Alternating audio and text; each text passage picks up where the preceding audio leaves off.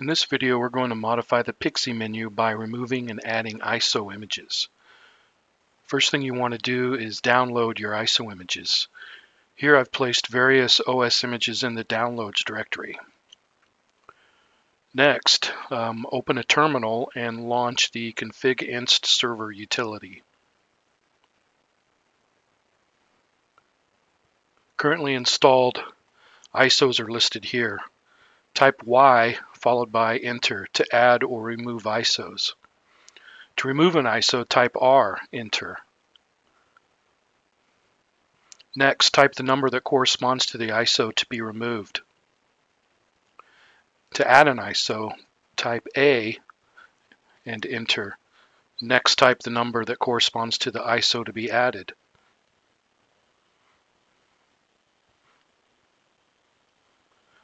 Once you've completed all modifications, type Q, enter to exit. That's all there is to it.